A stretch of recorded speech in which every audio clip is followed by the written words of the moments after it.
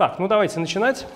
Значит, э, в прошлый раз мы с вами начали обсуждать, точнее мы с вами построили теорию галстонских бозонов. Да?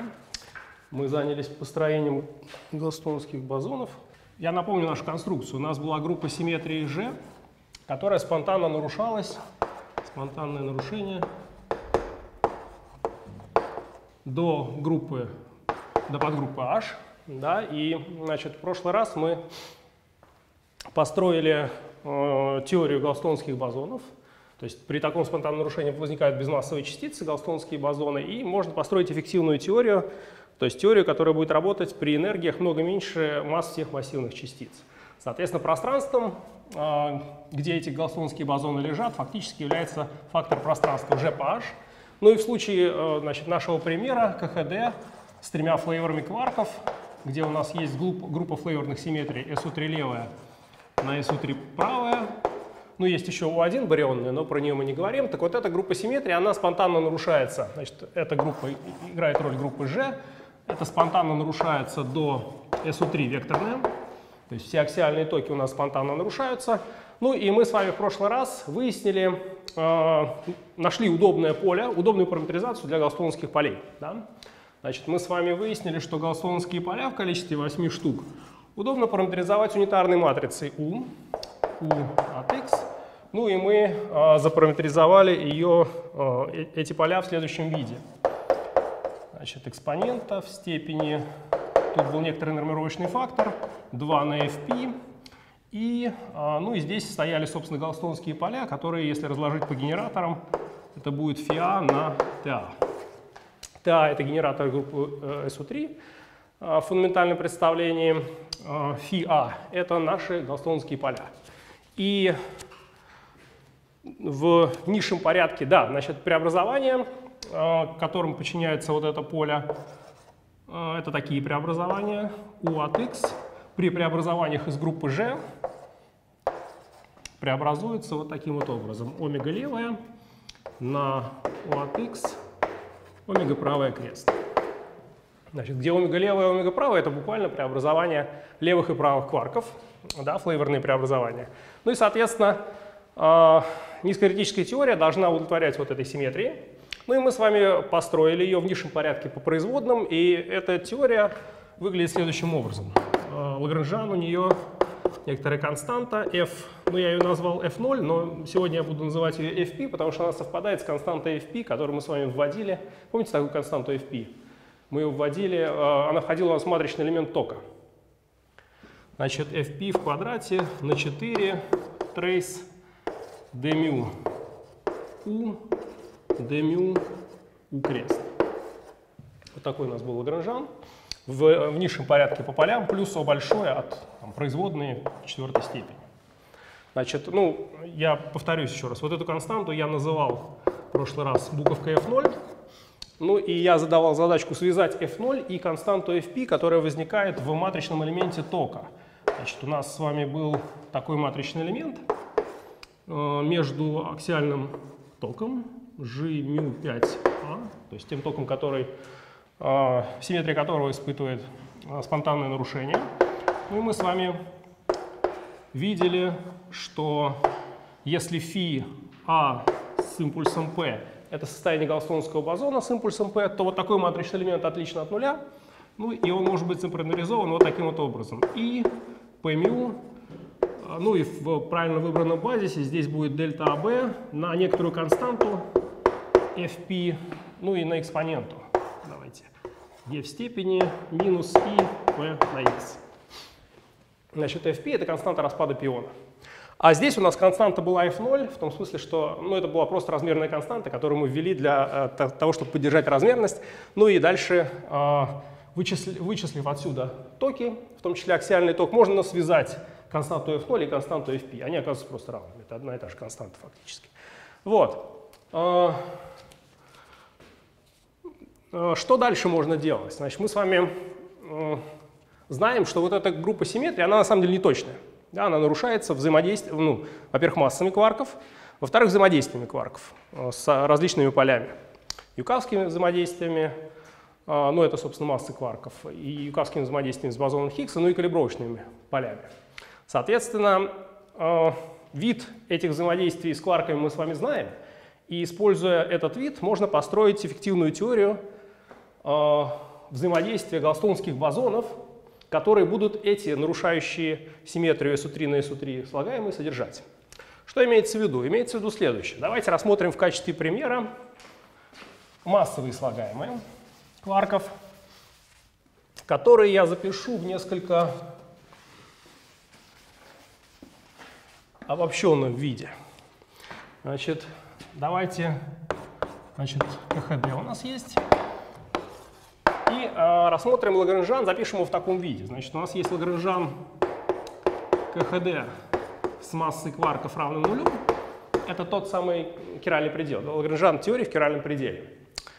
Вот. И давайте добавим сюда э, кусочки такого вида. Минус q с чертой ит, и это, ну, бежит 1, 2, 3, это flavor, flavor кварка.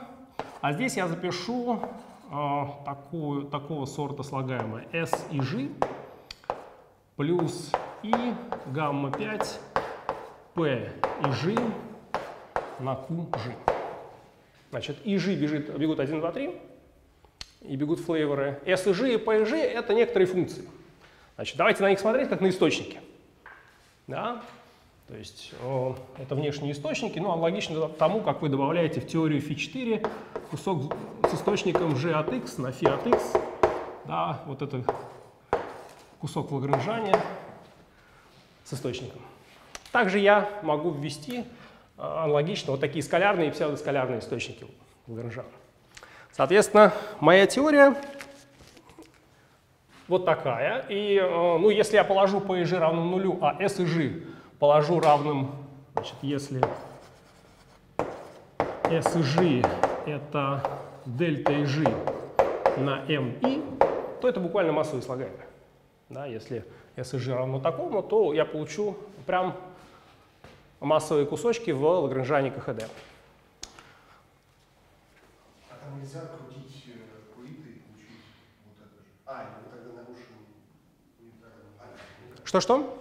Нельзя, нельзя взять унитарным преобразованием а, вот эти вот кужиты открутить так, чтобы диагонизовать, например, S.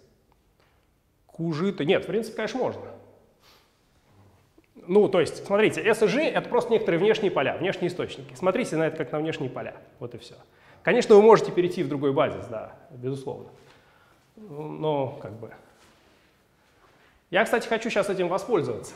То, что вы предлагаете, вы предлагаете крутить, э, то есть сделать наше преобразование из группы SU3 на SU3. То есть воспользоваться нашими симметрийными преобразованиями. А, действительно, давайте ими воспользуемся в следующем смысле. Давайте я немножко перепишу вот этот кусочек. Я перепишу его, разбив кварки на правые и левые. Давайте я сюда вставлю а, ну, проектор на правый и левый. То есть вот сюда я вставлю сумму проектор левая плюс проектор правая. А гамма-5 это у меня P правая минус P левая. Правильно? Соответственно, если я так сделаю, то вот это последнее слагаемое я могу переписать, последнее слагаемое я могу переписать вот в таком вот виде. Минус Q а, с чертой, скажем, ну давайте все при а, левом соберем. Правая, S и G, давайте ит. S и G минус I, P и G, Q, G правая. Да, и будет слагаемое, которое фактически является HC минус Q с чертой ита левая, S и G плюс И, P и G на Q. Ой, вот тут левая, конечно, я прошу прощения, вот здесь левая. Правый, Q с чертой правая с Q левым у меня, а здесь Q с чертой левая будет с Q житая правая. Угу. Вот, соответственно, Э, смотрю я на этот Лагранжан, если у меня вот эти S и P это некоторые, ну, скажем, массовые слагаемые, то у меня эти слагаемые явно нарушают э, группу симметрии, правильно, SU3 на SU3. Но я могу эту симметрию восстановить, если я дополню мои преобразования кварков, флейворные, еще преобразованиями э, этих источников. То есть, другими словами, у меня мой Лагранжан, вот этот новый, он инвариантен относительно преобразований такого типа. Во-первых, Q левая переходит в омега левая на Q левая, Q правая переходит в омега правая на Q правая. Да, значит, относительно этих преобразований инвариантна вот эта часть. Да, а вот эта часть будет инвариантна, если я дополню ее преобразованием моих источников. Каким образом я должен их дополнить? Дополнить я должен следующим образом. Значит, вот если смотреть на вот эти S минус P как на матрице, да, это матрица 3 на 3 фактически, то преобразование выглядит таким образом. S минус P у меня преобразуется э, омега, ну у меня здесь Q с чертой правая, значит здесь будет омега крест правая. Чтобы омега крест правая ушло, мне нужно здесь омега правая, S минус P, а здесь у меня Q левая, чтобы оно ушло, должно быть омега левая, должно быть омега левая крест. Соответственно, если я дополню свои источники вот такими преобразованиями, у меня вот это слагаемое будет инвариантом. Ну и, соответственно, второе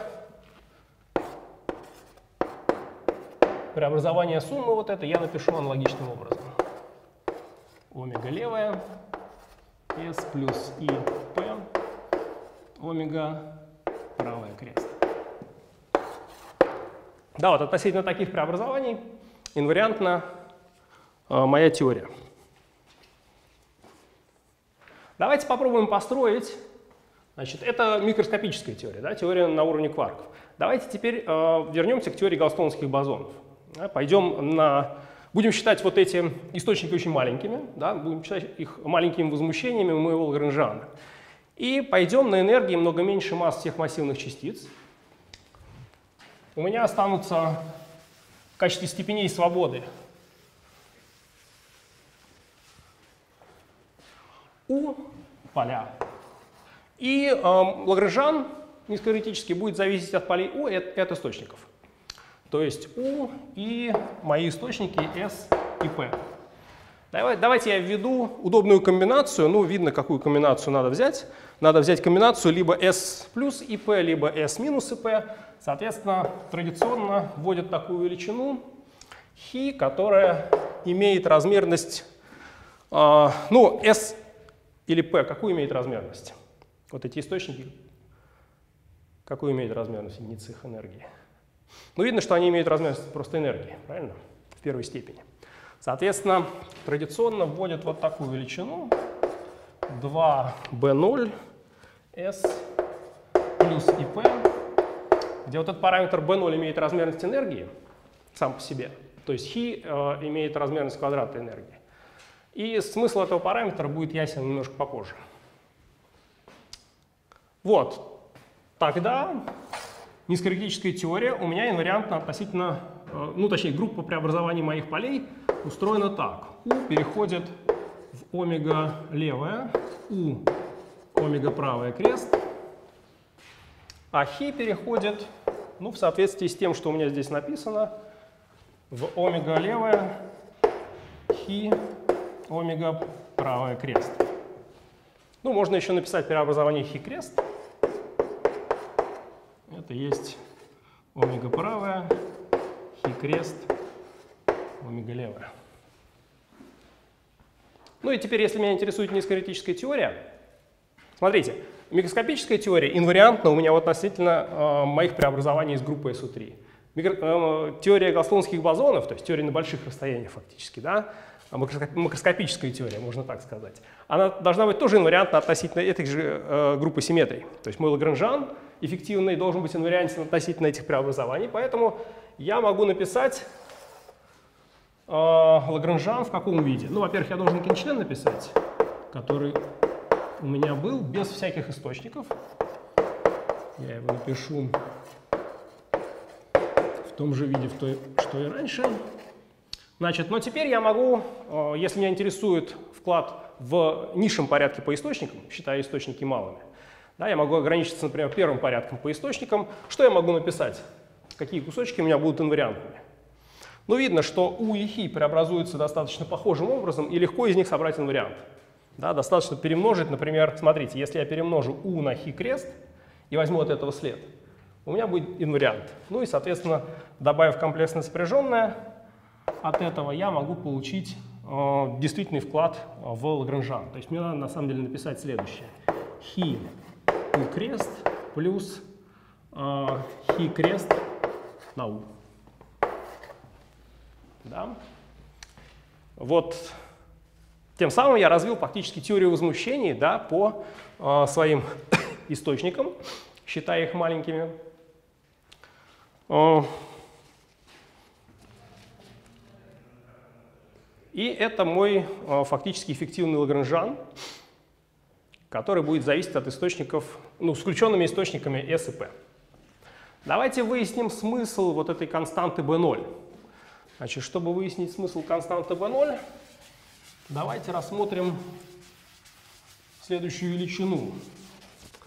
Рассмотрим величину, ну, назовем ее z от s и p. Ну, тут можно по-разному рассуждать. Можно рассуждать в терминах функционального интеграла. Вы, кстати, докуда проходили функциональный интеграл? Вы знаете, что такое производящий функционал? Знаете, да? Ну, может быть, можно э, рассуждать в терминах функционального интеграла. Значит, можно, вот, э, давайте смотреть на эти S и P как на источники. Да? Э, тогда вы можете написать вот такой функциональный интеграл.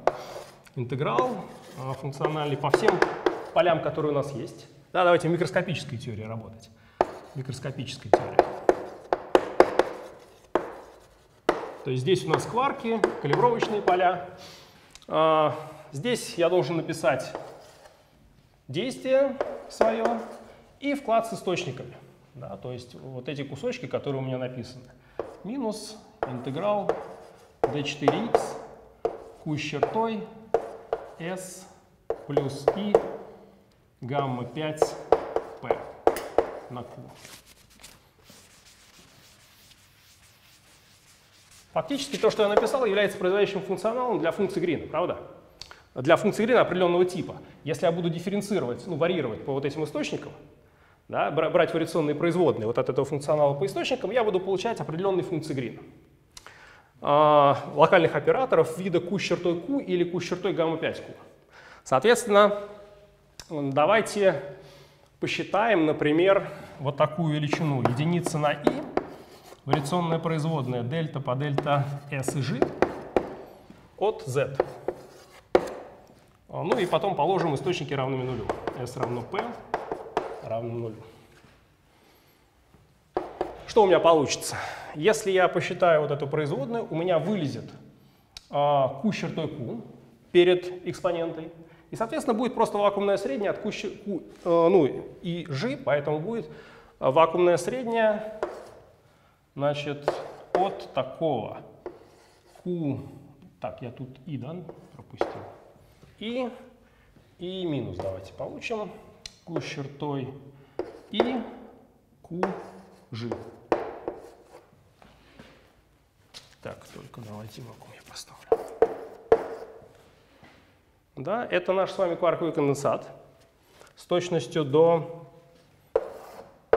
с точностью до, а, ну можно написать так, минус 1 треть дельта и g q чертой q. Правильно? Эта величина, я напоминаю, она отлична от нуля.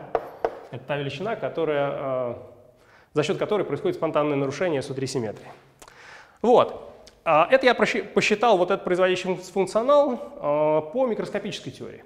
Теперь я могу посчитать тот же самый производящий функционал, используя макроскопическую теорию, используя э, теорию галстонских бозонов.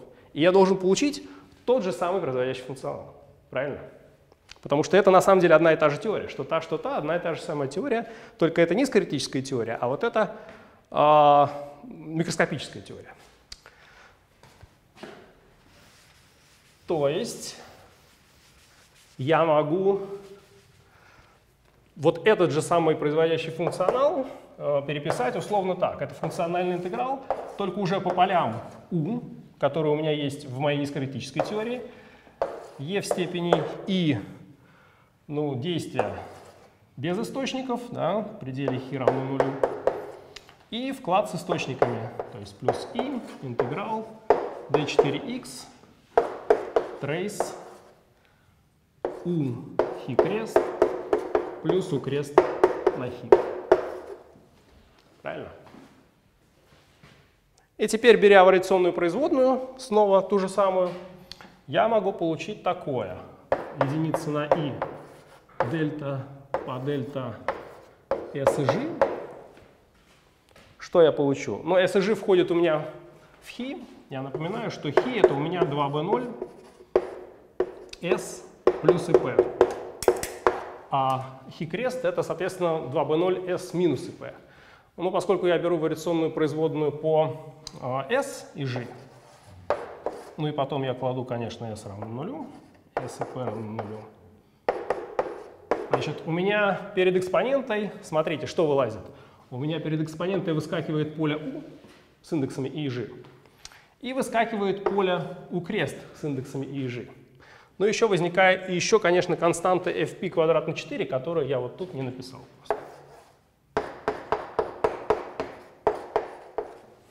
Тем самым вот эта вариационная производная получается у меня такой. fp квадрат на 4 умножить на 2v0 и умножить на вакуумное среднее, от чего э, будет u и g плюс u и g крест.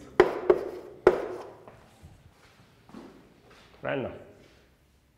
Вот. Ну и естественным образом в вакууме U и G это дельта и G, потому что там нет никаких галстонских полей, поэтому вакуумное среднее от U и G это дельта и G, поэтому я получаю вот здесь вот 2 дельта и G.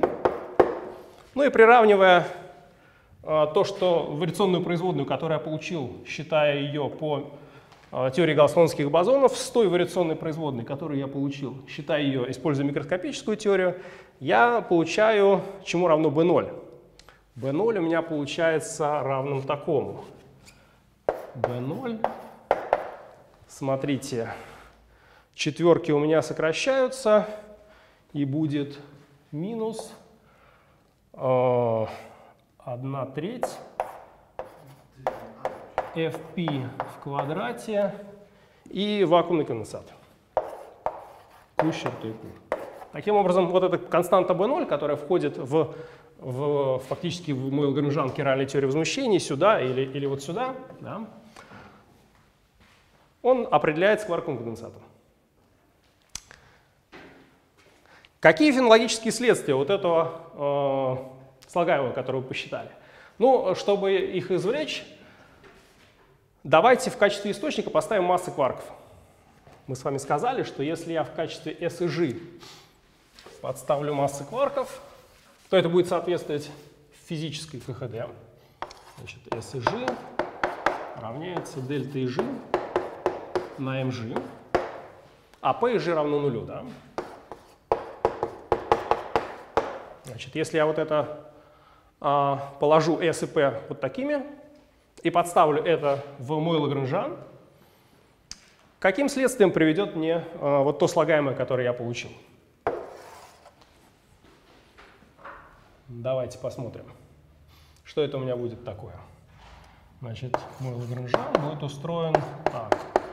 fp квадрат на 4, трейс, d крест, d Значит, а здесь будет такое. fp квадрат на 4. Ну, давайте 2b0 вынесем за скобочки. Э, даже 4 b0, да? Потому что эти два слагаемых на самом деле будут одинаковыми. У меня хи и хи крест совпадают. Ну и на самом деле у меня будет такое. Э, дельта и g, да, m и t, например. Ну и здесь будет u, g и плюс а нет, тогда лучше 2. Тогда лучше 2 поставить, потому что тут крест. Плюс У, звездочка, G, И. Правильно, вот такое слагаемое у меня будет.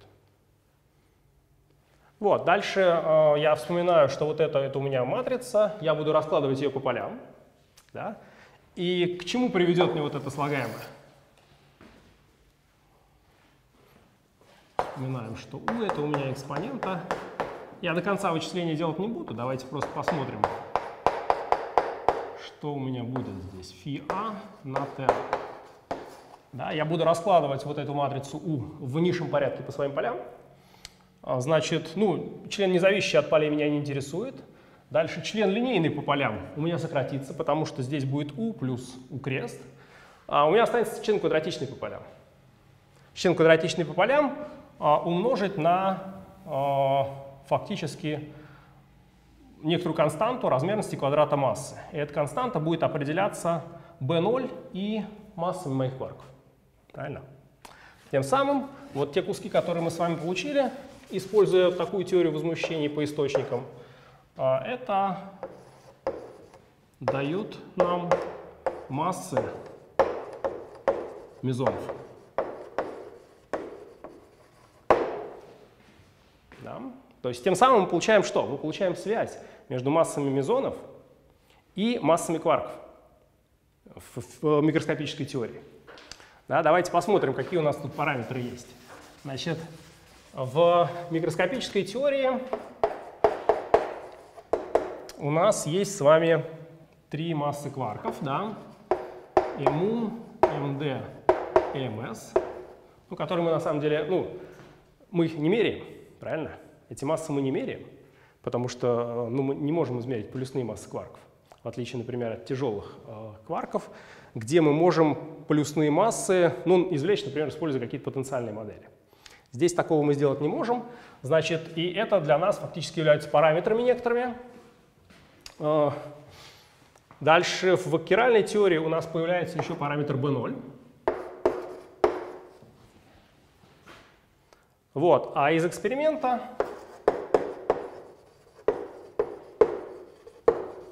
Да, но есть еще, конечно, параметр FP который тоже входит, но, правда, в массы он не входит, потому что легко видеть, что FP сокращается. Да? Смотрите, FP в квадрате здесь стоит.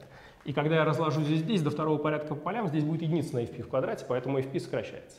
Выражение для массы FP не входит. Поэтому FP я могу отсюда удалить. Тем более он независимо измеряется. Я напоминаю, что FP — это константа распада пиона, и она связывается со временем жизни пиона. Дальше э, эксперимент дает нам массы мезонов. Массы мезонов — это какие э, у нас есть мезоны? У нас есть π0, есть π плюс-минус, но это частицы античастицы, поэтому у них массы совпадают.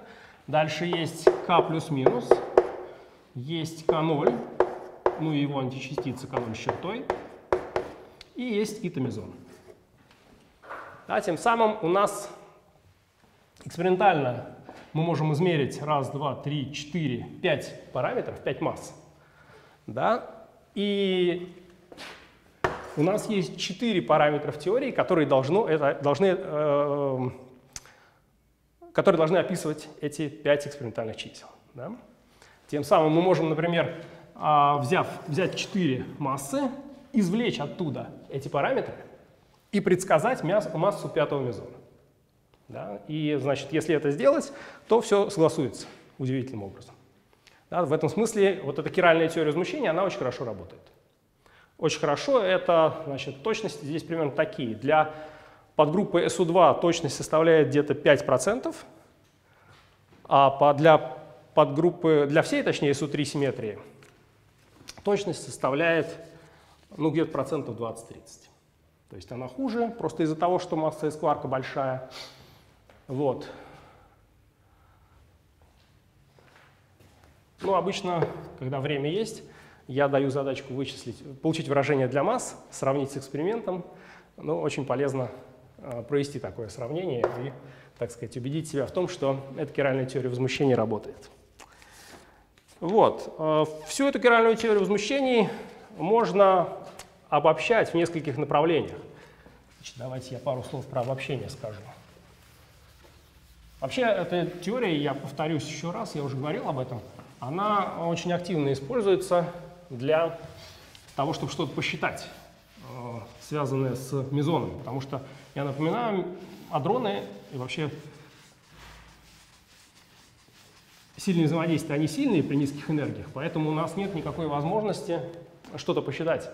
И им, иметь такую теорию очень полезно. Конечно, в ней есть некоторые параметры, которые вы должны откуда-то брать, да? А именно константу B0, например, вот эту. Есть константа FP, которую надо независимо брать, да, ее невозможно посчитать из КХД.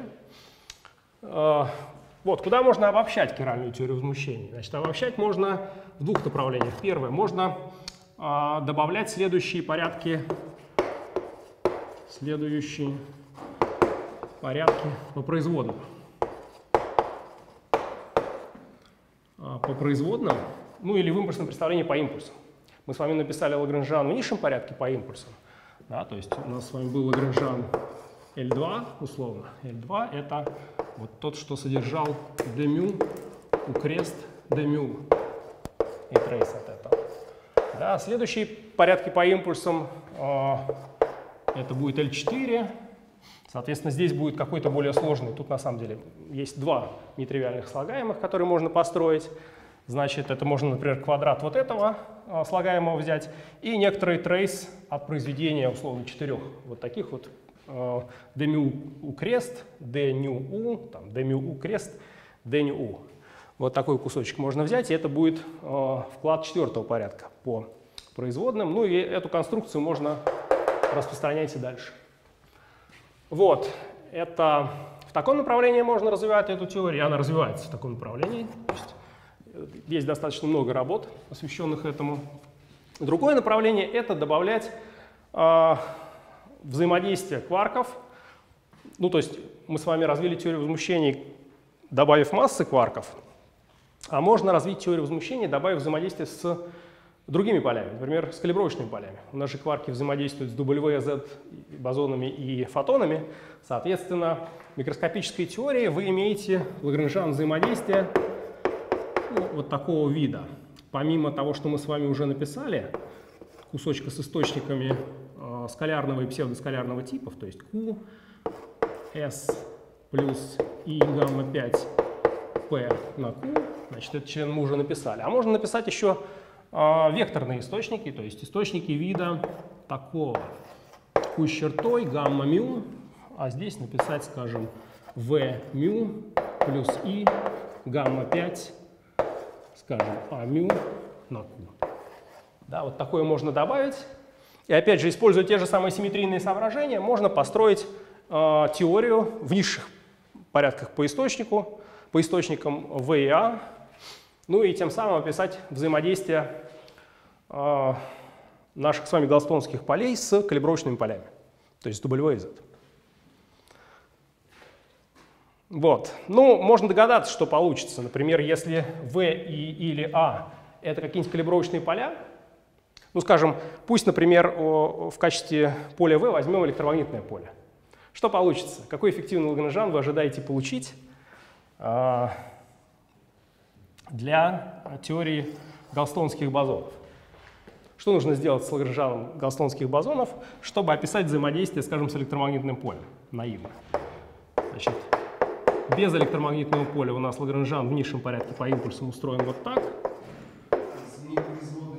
Конечно, да, это самый наивный, наивный, значит, а, пример. Да, давайте пример. Электромагнитное поле. Да, надо взять наивно. Я говорю наивно, потому что на самом деле это не все, как мы сейчас скоро выясним. Наивно заменить производные на ковариантные, и тем самым значит, вы заработаете в минимальном варианте взаимодействие, э, взаимодействие с электромагнитным полем. Значит, у нас с вами есть вот такой набор мезонов, да? Какие из них будут взаимодействовать с электромагнитным полем? Ну вот после такой замены, когда я заменю производную на ковариантную. Ну, естественно, заряженные. Конечно, да, все заряженные, значит, а, все заряженные, ну вот, после того, как мы вот это распишем, у нас получится, ну, условно, демю фи, демю фи, да? А если я заменю на ковариантные производные, будет вот так, Ну и э, ковариантные производные появятся только у заряженных полей. То есть условно у нас появятся здесь кусочки вида dμ π плюс π минус, да, и то же самое с k плюс-минус. А вот для p0, например, k0 и это никаких таких кусочков не появится, потому что они нейтральны. Правильно? И здесь есть некоторый вопрос фенологический, потому что, как вы знаете, p0, а, его основная мода распада — это два фотона. Правда? Значит, и давайте обсудим следующую тему, примыкающую к этой. Распад p0 2 гамма. Это на самом деле основная мода распада p0. Ну и э, вопрос в связи с, э, так сказать, построенной нами теорией. P0 нейтральная частица, значит, добавление ковариантной производной не добавит ему электромагнитных взаимодействий, да, за счет чего P0 распадается в 2 гамма. Значит, можно вспомнить, что P0... А, кстати, прежде чем я скажу про P0, давайте я некоторое замечание сделаю. Замечание такое. Вот я э, рисовал вам матричный элемент аксиального тока. Это некое терминологическое замечание. Вы, может быть, будете, э, если кто-то будет заниматься, можете встретить некоторый термин. Э, у нас есть вот такой матричный элемент. Я его сегодня уже писал. У нас есть аксиальный ток Есть состояние галстонских бозонов φ, b с импульсом p. Это есть вот такое. Минус i, p μ, f p, дельта b, e в степени минус i, px. Давайте я возьму дивергенцию этого равенства по x. Да, тогда у меня возникнет такое 0 d μ g μ 5 фи когда я здесь э, возьму дивергенцию, у меня, наверное, вот тут плюс да, должен быть. Значит, а, у меня возникнет, да, плюс. У меня возникнет p в квадрате на fp на дельта b ну и на экспонент. Соответственно, если у меня точная симметрия SU3, то p в квадрате равно нулю, потому что это масса. Правильно? Теперь, если у меня симметрия не точная, давайте рас рассмотрим, например, э, в качестве индексов А, э, ну, 1, 2, 3.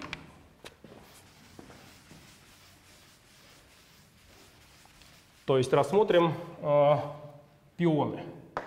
А пусть у меня будет 1, 2, 3, тогда p в квадрате в этом равенстве это масса пионов в квадрате. Да? И у меня вот эта дивергенция тока, э, это некоторый скалярный оператор, но тут будет некоторое число, которое я могу на самом деле записать в таком виде. 0 dμ gμ 5а, давайте аргумент писать не буду, фи b p а здесь стоит дельта b, которое я перепишу так. mp в квадрате, fp квадрате.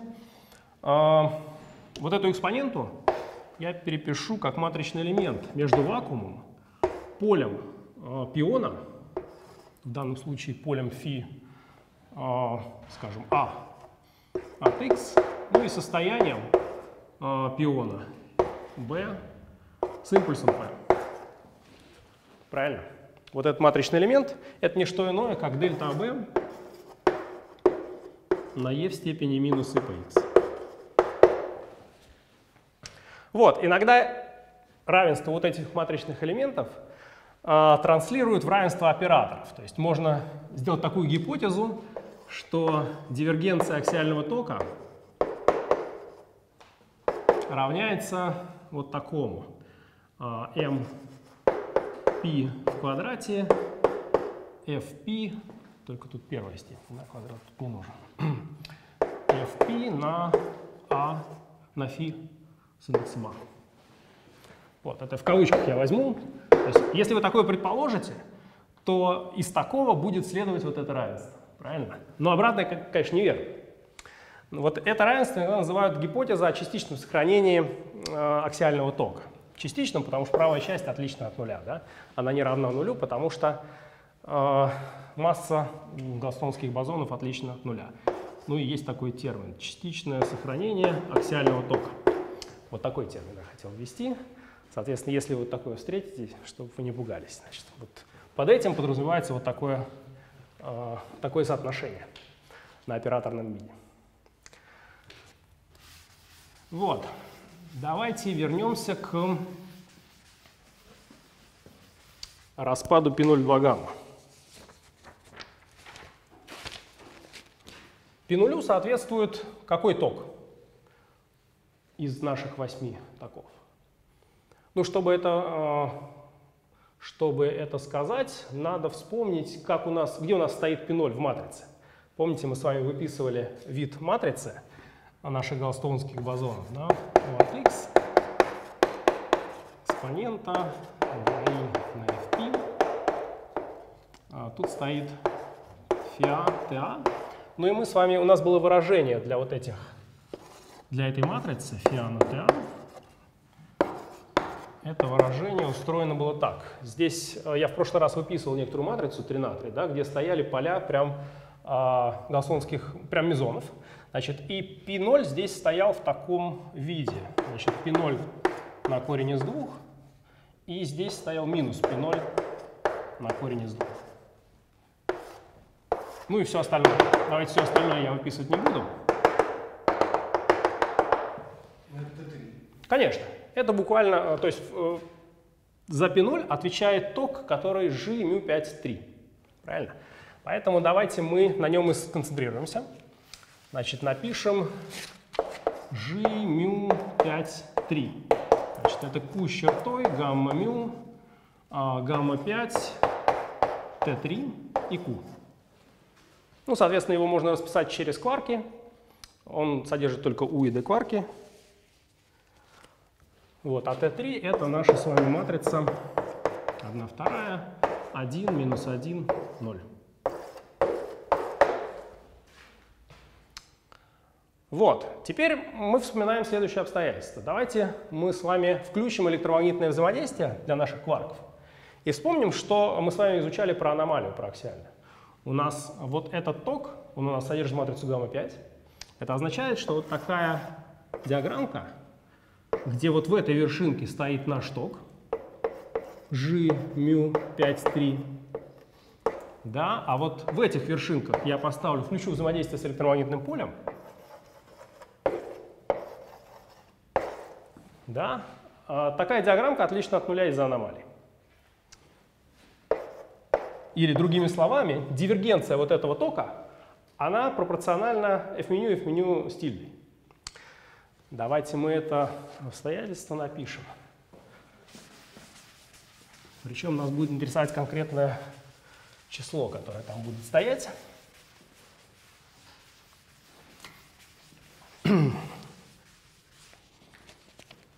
Значит, аномалия.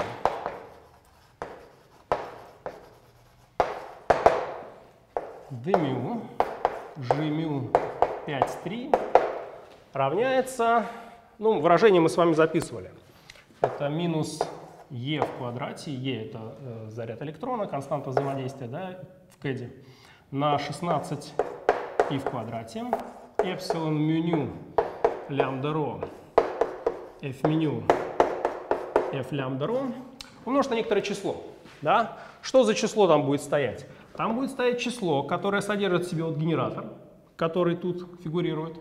Да? Дальше вот в этих вершинках у меня будут стоять заряды кварков. Правильно? То есть э, вклад, ну давайте писать, что это будет за число. Значит, я должен буду написать одну вторую. Одна вторая это вот отсюда. Да? Дальше.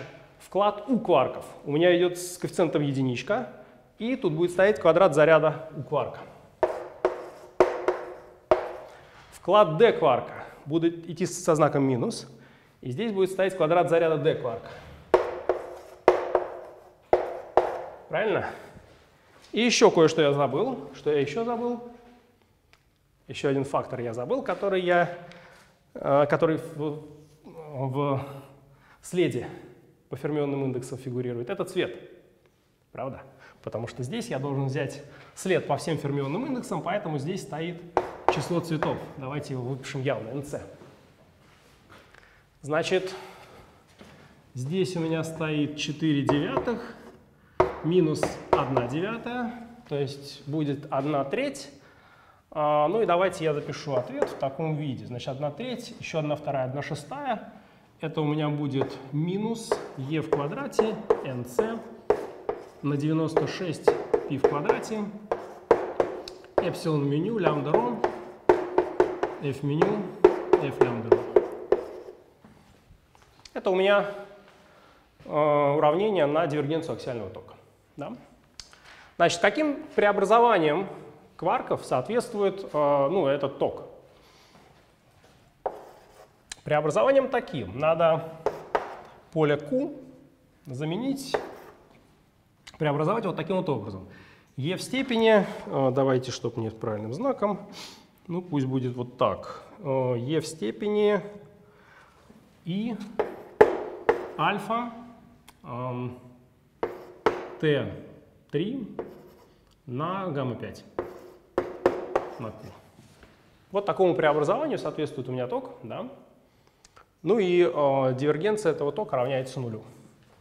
Давайте я э, ну, сделаю некоторую, некоторое, проведу некоторое следующее рассуждение. Смотрите, давайте я в качестве параметра преобразования, ну здесь стоит некоторое число просто, давайте э, этот параметр преобразования сделаем зависящим от координат. Пусть Q, э, не Q, а альфа это альфа от x. Да? Будет ли у меня мое действие инвариантно относительно преобразований вот таких вот с альфа, зависящим от x? Но ответ, конечно, нет, правильно, потому что у меня есть кинчлен и q с чертой гамма мю d мю q. И вот здесь производная упадет на альфу, правильно, и из-за этого будет инвариантность. Если бы альфа была константной, то все было бы хорошо. Значит, как преобразуется мое действие? Значит, действие при вот таком преобразовании с альфа, зависящим от x, преобразуется вот так. Значит, ну, будет то же самое выражение для действия, плюс некоторая добавка. Что будет за добавка? Добавка возникнет как раз из-за того э, факта, что производная может упасть на вот эту альфу. Что-что? На ковариантную... У нас нет калибровочного поля для такого преобразования. Это же, это же глобальное преобразование. Ну, изначально, э, изначально это была глобальная симметрия. Но теперь я сделал аналогичное преобразование, но с параметром, зависящим от x. Это не обязано быть симметрией, правда? Вот. А, и, конечно, действие преобразуется. Как оно преобразуется? Ну, давайте смотреть. Значит, производная упадет вот сюда, вылезет и, вылезет вот тут тоже одно и, поэтому будет минус интеграл d4x. Следите за мной. Значит, производная упадет на альфа, будет d мю альфа. Правильно? И э, на что это умножится? Это умножится вот на такую конструкцию. Q с чертой, э, гамма мю. Отсюда вылезет гамма 5, Т3 и Q. То есть не что иное, как наш ток. Правда? Это есть G μ 5,3.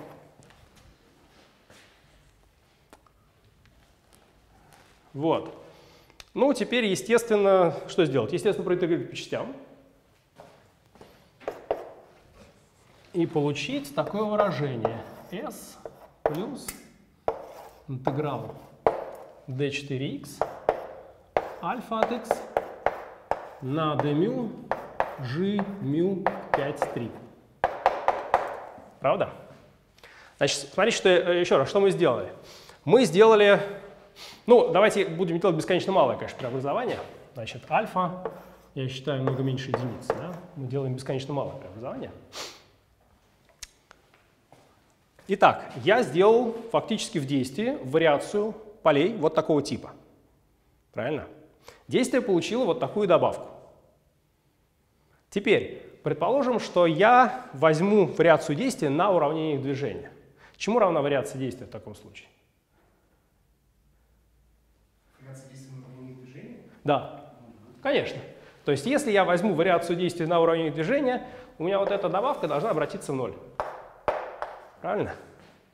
Ну и поскольку это должно быть верно для любых альфа, то d μ равняется нулю. Это стандартный вывод теоремы Ньютер, то, что я вам предложил, правда?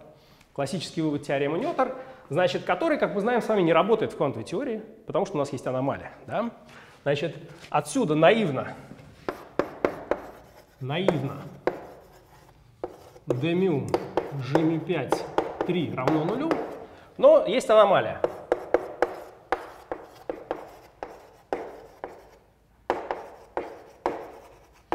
Аномалия говорит о чем? О том, что мы с вами неправильно написали вот эту вариацию действия.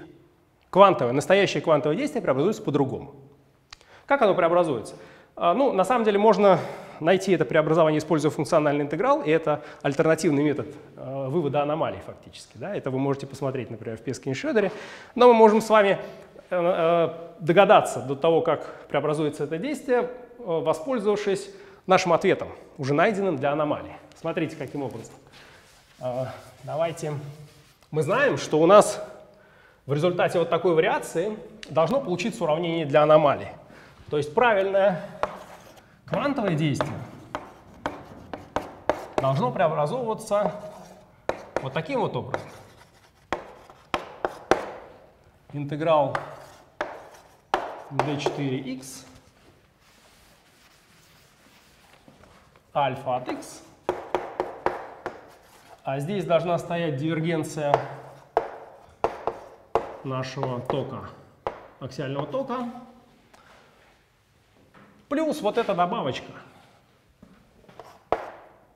e в квадрат nc на 96 и в квадрате эпсилон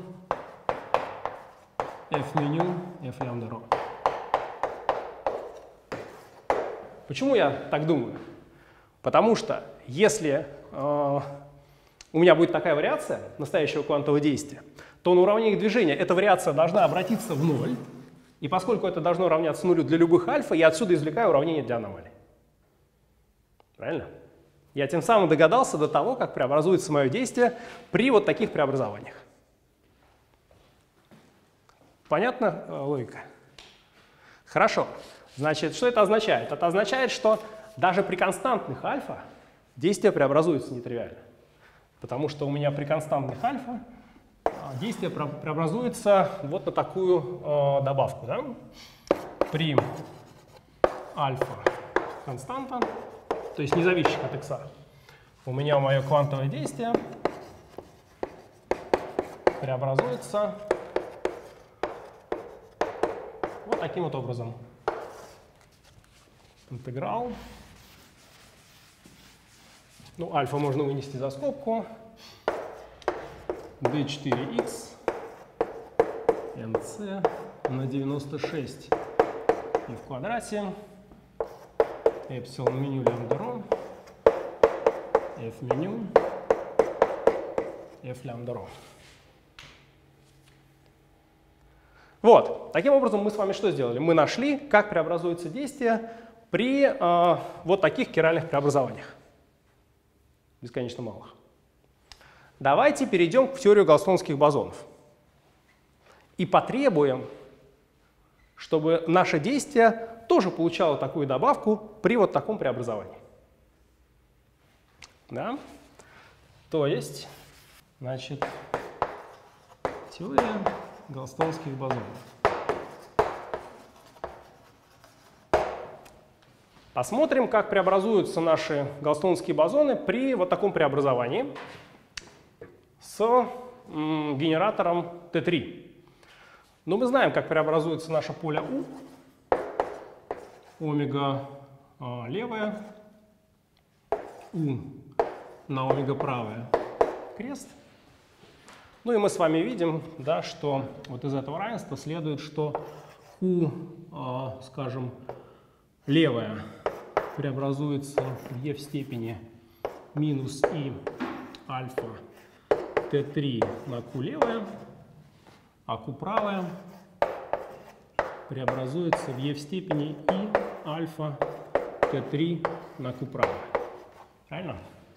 Поскольку гамма 5 у меня вот такая матрица. Минус 1, 1. Угу. Поэтому э, омега левая, это у меня вот такая матрица. Е в степени минус и альфа Т3. А омега правая, это вот такая матрица. Е в степени и альфа Т3. Окей?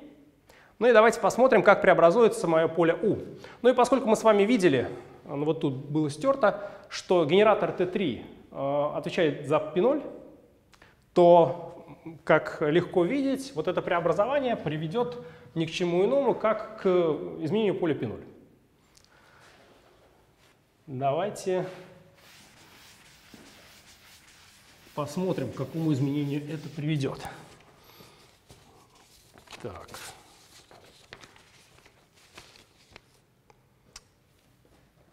У. Давайте я сразу его запишу, оставив только поле π0. Е в степени.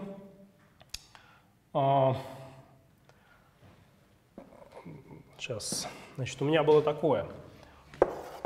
У равнялось экспонента 2i на fp. Здесь стояла тета а на фиа. Фиа на та точнее. И фиа на та равнялось у меня, значит, здесь был корень из двух, а здесь π0 на корень из двух. То есть π0 пополам, здесь минус π0 пополам, и здесь, ну, а все остальное нули, да? Давайте оставим только π0. Оставим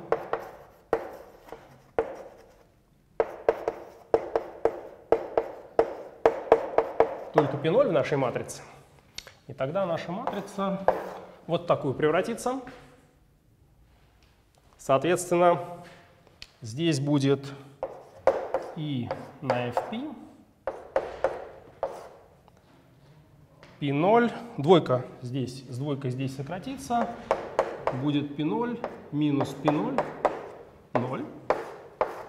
Это та матрица, с которой мы стартуем. Правильно? Теперь преобразованная матрица, она вот такая. То есть будет e в степени минус и альфа. Ну и t3 надо написать. 1 минус 1, 0. Дальше ту же самую экспоненту мы пишем. e в степени и на fp. Давайте p0 минус π0, 0. И омега правая крест. А омега правая крест, ну надо просто минус здесь поставить, да? Умножить на e в степени минус и альфа пополам 1 минус 1, 0. Вот такой закон преобразования. У меня π0, ну, по действиям того преобразования, которое мы с вами выбрали. Ну и отсюда видно, как преобразуется π0, правильно? Потому что у нас все есть, все пропорционально генератору Т3, поэтому экспоненты собираются в одну экспоненту. Ну и видно, что P0 преобразуется просто сдвигом, как и положено галстонским полям. Да? P0 преобразуется сдвигом, причем каким? Смотрите, P0 переходит в P0. Здесь у меня альфа пополам. Здесь еще одна альфа пополам, ну, обе со знаком минус, то есть будет минус альфа. Ну, еще fp здесь стоит. Поэтому будет минус альфа на fp. Согласны? Вот, так у меня преобразуется π0 при выбранном нами э, ну, преобразовании. Но мы знаем с вами, что при э, этом преобразовании действие, если я включу взаимодействие с электромагнитным полем, должно приобретать вот такую добавку. Правильно? Какое взаимодействие я должен написать с электромагнитным полем, чтобы при вот таком сдвиговом преобразовании действие приобрело вот такую добавку?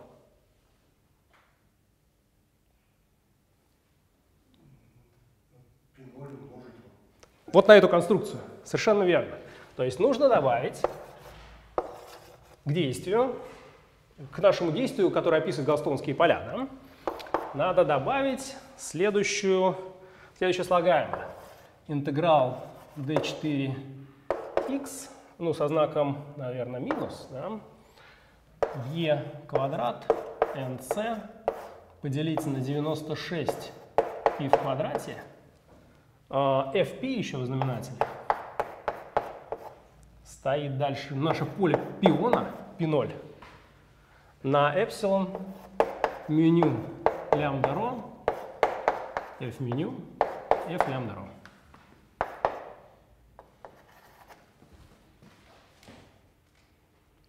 Да? Таким образом, аномалия приводит к тому, что эффективное взаимодействие нейтрального пиона с электромагнитным полем, оно вот такое. И это как раз тот самый Лагранжан взаимодействие, который описывает распад π0 в 2 гамма. Да, вот отсюда из этого Лагранжана буквально следует π0 в 2 гамма. Ну и обычно я задаю задачку вычислить ширину этого распада. Но поскольку времени у нас уже на семинар нету, то значит, можете для себя в качестве упражнения его сделать. А аукцион такой же? Да. Ну, по структуре а, аукциона такой же Лагранжан, да. То есть это для любых аксионоподобных частиц вот такой эффективный Лагранжан взаимодействие с электромагнитным полем, ну и с глионом, например, тоже.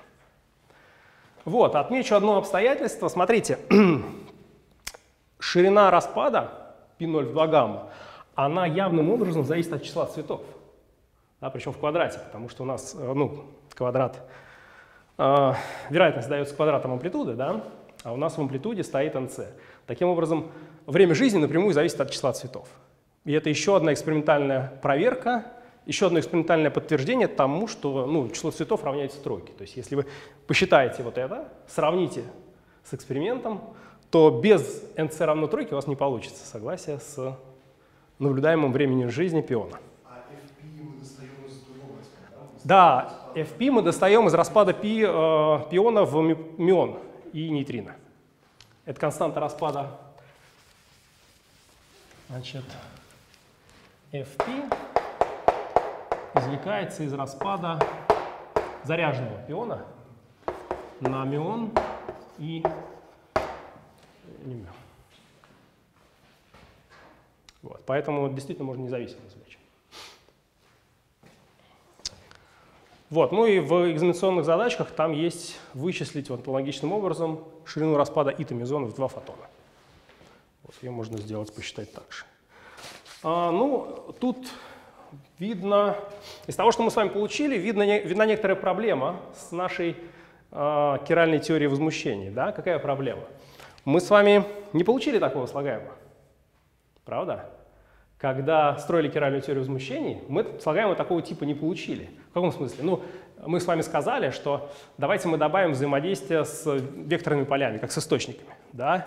И мы сказали, что наивно это потребует того, что мы производные должны заменить на ковариантные производные. Такого слагаемого у нас не появляется и не появится. А, это некоторая проблема теоретическая. А, на самом деле она связана еще с одной проблемой, которую я сейчас а, буду обсуждать. Значит, проблема заключается вот в чем. Ну, значит, что вы ожидаете от теории галстонских бозонов? Да, у нас есть генератор. Как, как выглядит преобразование, соответствующее э, сохрани, закону сохранения заряда? Значит, надо ввести вот такую матрицу из зарядов кварков. Плюс 2 третьих, минус 1 треть, минус 1 треть. Да? И тогда вот преобразование Q переходит в E в степени I альфа Q на Q это есть U1, преобразование из группы U1, и оно соответствует закону сохранения заряда. Правильно? Заметим, что поскольку след вот этой матрицы равен нулю, то это под, подгруппа наших преобразований SU3 векторных. Правильно? Вот. Ну и мы с вами что ожидаем? Что наивно нам производную, если мы перейдем в теорию галстонских бозонов, значит, э, то U у нас будет преобразовываться ну, для бесконечно малых преобразований вот таким вот образом. U плюс, скажем, I на альфа на коммутатор нашего генератора U с нашим полем U. Так стандартно у нас преобразование устроено, правильно? Вот. Ну и наивно, чтобы сделать эти преобразования ковариантными, надо обычную производную d u заменить на d u, ну она обычно вот такого вида получается. Это обычная производная, а, плюс или минус, там, коммутатор, курс. Так, выглядит ковариантная производная. А, ну, конечно, еще калибровочное поле.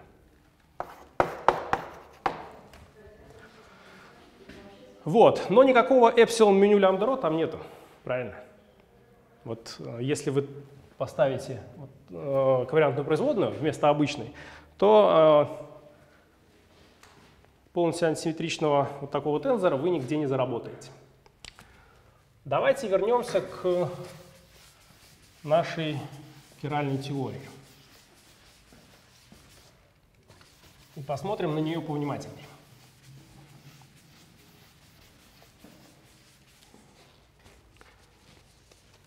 Значит, давайте напишем ее в низшем порядке по импульсам. И в квадрате на 4 трейс d крест d ну плюс старшие порядки по импульсам. И давайте зададим следующим вопросом. А какие симметрии есть у этого Лагранжана? Значит, мы строили этот Лагранжан, потребовав некоторых симметрий. Но построив этот Лагранжан, мы можем спросить, а какие симметрии оказались у этого Лагранжана? Да? Значит, ну давайте очевидные симметрии. Это SU3 левая на SU3 правая. Эта симметрия есть, потому что мы ее потребовали при построении. Да, у нас У переходит в омега левая У, омега правый крест. И это Лагранжан варианте относительно этих преобразований. Какие еще есть симметрии в этом Лагранжане? А? Какая? Вот, вот такая? Да. Нет, она внутри этой есть. Она же есть внутри этой. Она же подгруппа. Значит, вот это подгруппа нашей вот этой большой группы. Это если положить Да, да, да, совершенно верно. Причем с конкретным генератором. Вот с тем. Вот. Но есть еще кое-какие симметрии. Значит, какие есть симметрии? Ну, симметрия, например, есть такая. Я могу U заменить на U транспонированное. Есть такая симметрия? Легко видеть, что есть. Правильно? Если внимательно приглядеться к нашему виду U и ну, к тому, что как э, эта матрица U выражается через наши физические поля, то есть через поля мезонов, то эта симметрия это не что иное, как следующее. P плюс переходит в P минус, K плюс переходит в K минус, K0 переходит в K0 с чертой. Конечно, это C-симметрия. Такая симметрия есть в КХД. Значит, это действительно C-четность. КХД у нас инвариантно относительно C-четности, поэтому, естественно, ожидать, что такую симметрию мы получили, это хорошо. Это еще не все. Есть такая симметрия. Третья. Есть симметрия, когда я возьму э, x пространственное, заменю на минус x. А u переходит в u. Есть такая симметрия? Ну, конечно, есть. Назовем эту симметрию, ну, это симметрия типа четности, да? давайте назовем эту четность P0. Сейчас будет понятно, почему. И есть еще симметрия. Я могу взять U, заменить на U крест или U минус 1. Правильно? Это что за симметрия? Чему отвечает эта симметрия?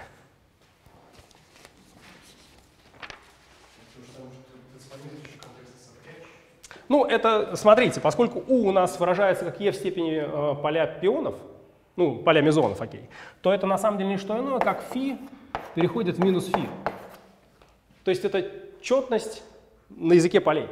Да? То есть, другими словами, какой закон сохранения отвечает вот этой симметрии? Четность. То есть, э, если число э, этих мезонов в начале было четное, то оно и в конце будет четное. И наоборот, если оно нечетное в начале, то и в конце оно будет нечетное. То есть сохраняется какая величина? Вот такая. минус единица в степени число наших галстонских бозонов. Вот это сохраняющаяся величина. Да? Но мы с вами знаем, что пионы, ну мезоны, вот эти, которые галстонские бозоны, они псевдоскаляры. То есть на самом деле симметрией, истинной симметрией является не вот эти две симметрии, а их комбинация. Да? То есть на самом деле в КХД со спонтанным нарушением нашей симметрии, вот той симметрии, которую мы с вами обсуждали, мезоны, э, то есть симметрия есть такая, x переходит в минус x, и одновременно с этим фи переходит в минус фи. То есть, другими словами, и это и есть истинная почетность. Да? Это почетность. То есть в КХД истинной симметрии должна быть симметрия, которая есть произведение фактически вот этих симметрий. P0 на минус единицы в степени nb. А мы с вами получили, построили теорию, в которой есть, по сути, лишняя симметрия. Да? У нас, мы ожидаем, что должна быть симметрия, закон сохранения вот такой, а у нас в построенной нами симметрии есть два закона сохранения. То есть лишний получается у нас закон сохранения. Вот. Ну и это как бы, э, то есть мы теоретически это рассмотрели, можно и с фенологической точки зрения увидеть, что, например, вот этого закона сохранения нету, то есть четности. Ну, например, это видно, ну, есть такой фемизон, и он, это, это векторный мезон, он может распадаться, это частица со спином единичка, да? а, и это мезон он умеет распадаться, это нейтральная частица, он умеет распадаться на два каона. И одновременно с этим он умеет распадаться, причем все эти распады за счет сильных взаимодействий, на три пимезона. Пи плюс, пи минус, пи Да, то есть есть, другими словами, сильные взаимодействия допускают переход четного в нечетное между, э, ну, в галстонских бозонах. То есть, другими словами, даже феноменология, э, эксперимент точнее, говорит нам, что вот этого закона сохранения у нас нет. Соответственно, мы с вами построили э, такую теорию, в которой есть лишний закон сохранения. То есть мы не совсем правильную теорию с вами построили. Давайте попробуем разобраться, что нам нужно сделать, чтобы построить правильную теорию. Ну, давайте напишем Значит, это будут некоторые качественные рассуждения по большей части. Давайте напишем уравнение движения. А, уравнение движения вот для этой а, теории имеет вот такой вид. fp в квадрате пополам d μ u крест d μ равняется нулю.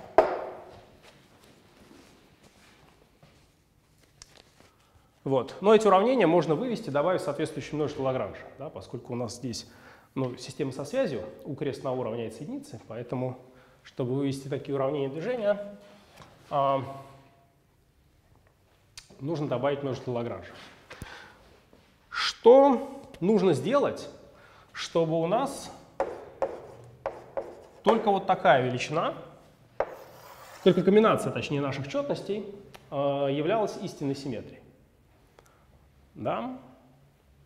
Что нужно сделать?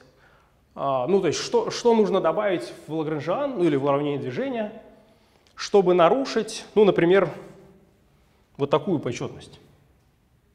Что нужно сделать? Ну, нужно добавить, наверное, полностью асимметричный слагаемый, полностью асимметричный тензор. Что-то пропорциональное полностью асимметричному тензору. Потому что он у меня нарушает почетность, такую наивную, правильно?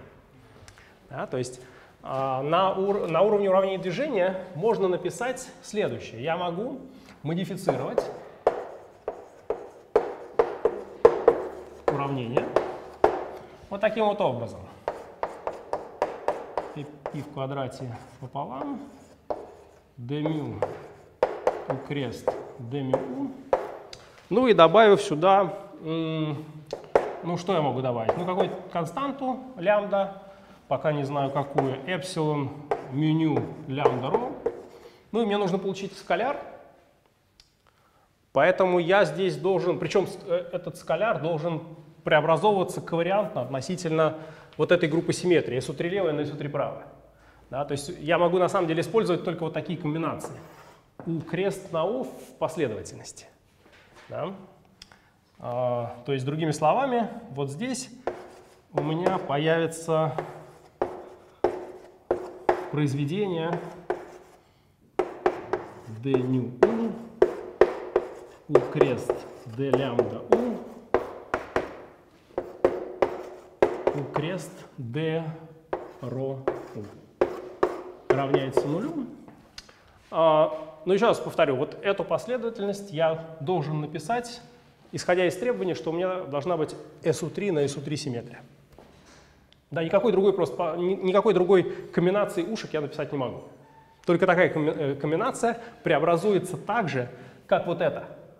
Чтобы, ну, а уравнение движения у меня должны быть коварианты относительно моих преобразований симметрии. Соответственно, э, это единственный скаляр, который содержит в себе вот этот эпсилон символ. А, ну и, соответственно, все уравнение у меня ковариантно относительно моих преобразований SU3 на SU3.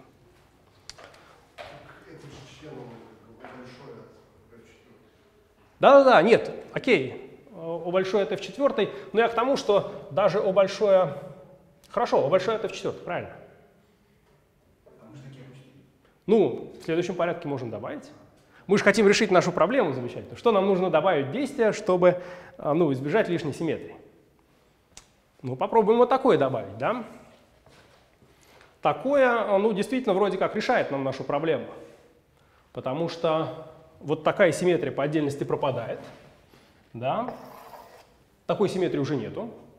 Если вы сделаете вот такое преобразование, то первый член инвариантен, а второй получает знак минус из-за эпсилона. Правильно? Соответственно, если вы добавите, дополните это преобразование вот таким преобразованием, то легко проверить, что это уравнение будет инвариантно. Потому что первый член содержит, ну, э, один раз вот эту комбинацию у крест на у, а второй член содержит четыре раза эту комбинацию. А каждая комбинация а, приводит к изменению знака. Соответственно, у нас получается только комбинация вот этих симметрий P0 и э, φ на минус φ э, является симметрией вот этих уравнений движения. Какой следующий вопрос? Ну, следующий вопрос написать член в действии, который бы генерировал это уравнение движения. Правильно? Значит, утверждение нельзя написать действие вида не существует действия вида интеграл d4x Лагранжан, который бы приводил вот к такому вкладу в уравнение движения. То есть уравнение движения нарушающая по отдельности эти две симметрии, я написать могу, а кусок в действии вот такого стандартного вида, который бы приводил к этому уравнению движения, я написать не могу.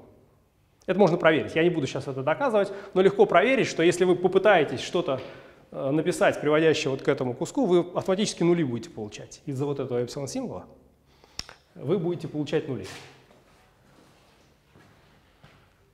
Вот, и это некоторая проблема. Ну, давайте мы, наверное, на этом прервемся. И со следующей лекции будем решать эту проблему.